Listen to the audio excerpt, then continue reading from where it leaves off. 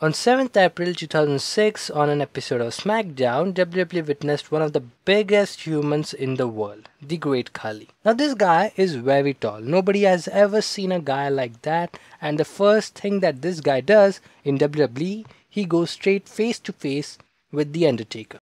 The Undertaker was having a match against Mark Henry. The Undertaker had a upper hand in that match, but when Undertaker gave a leg drop to Mark Henry, the great Khali came out. Undertaker was speechless. Undertaker punched him one time, nothing happened. Undertaker punched him second time. Again, nothing happens. He does it again, still nothing happened. The great Khali chops Undertaker on the head, tears turnbuckle pad, and throws him headfirst on that exposed turnbuckle. He kicked him, gave him a big boot, standing tall in the ring. On next SmackDown, the great Khali came in the ring to hype up himself. His manager, Daivari, started hyping him up. Said Undertaker will worship him. The great Khali said something which even I didn't understand. You remember me last time? And on next SmackDown, the great Khali again talked. And he shouldn't talk that much, I think so. But anyways, WWE made him talk. On next SmackDown, the great Khali destroyed all the three cruiserweights which were having a match on SmackDown. The Undertaker was not seen on television since the Great Khali attacked him. It's pretty rare to see WWE giving so much importance to the Great Khali rather than Undertaker. You come and directly have a rivalry with the Undertaker. It's pretty great achievement. On next SmackDown, the Great Khali had a match with Rey Mysterio where he defeated Rey Mysterio. I can say he demolished Rey Mysterio. On the next SmackDown, the Great Khali and Daivari came in the ring and started a video about Undertaker's career and then he showed the video how Great Khali ended Undertaker's career.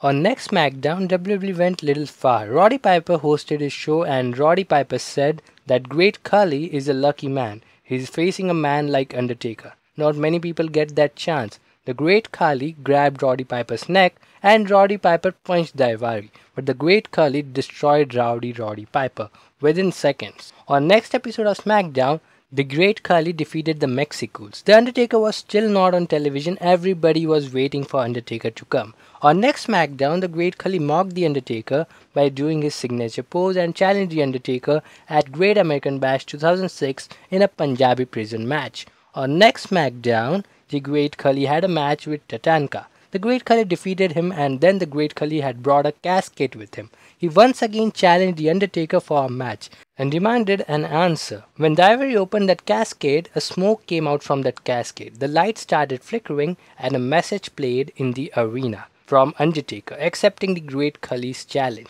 On next SmackDown, The Undertaker finally appeared. The Great Khali and Daivari were in the ring. They said The Undertaker did not show up last week and then the lights went out and The Undertaker came in the ring. The Undertaker made a lightning strike right in the front of Great Khali, but the Great Khali didn't even flinch. The Great Khali was going for Undertaker, but Daivari stopped him. And then the day came at the Great American Bash 2006, Undertaker was scheduled to face the Great Khali in a Punjabi prison match. But according to reports, the Great Khali was not well that day and he was not cleared to wrestle. So Big Show replaced him. Now Undertaker and Big Show had their match at Great American Bash 2006 in a Punjabi prison match. The Undertaker defeated him. I don't know why, but Big Show started crying after losing the match. Now the rivalry needed to end. The Great Khali most of the time mocked Taker, dominated Taker, and on next episode of SmackDown, Undertaker took on King Booker.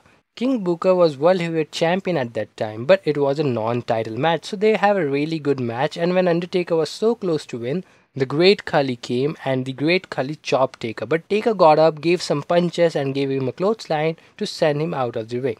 Then Undertaker challenged the Great Khali in a last man standing match, and on next SmackDown, the Great Khali were in the ring. The Great Khali manager said that the Great Khali will not accept Undertaker's challenge for a last man standing match. The Undertaker came, attacked Great Khali's manager and gave Great Khali a massive choke slam. And then the day comes, The Undertaker versus Great Khali in last man standing match. And the match was really okay, especially when Khali is there. It had one of the most normal endings in the last man standing match. The Great Khali was busted open. The Undertaker gave two chair shots to Khali and gave a massive choke slam. He was also going to pin here, but he realized it was a last man standing match, so no pinfall.